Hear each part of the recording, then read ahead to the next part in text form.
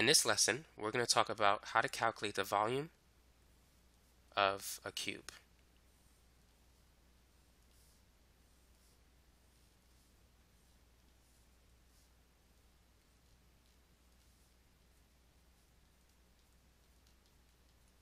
So let's say the side length is 7.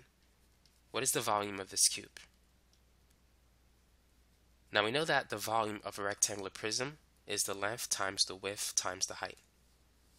However, for a cube, all sides are the same. So this is x, x, and x. So it turns out that the volume of a cube is just x cubed. So in this example, it's going to be 7 to the third power, or 7 times 7 times 7. 7 to the third power is 343.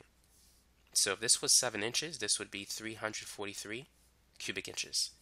And that's all you need to do in order to calculate the volume of a cube.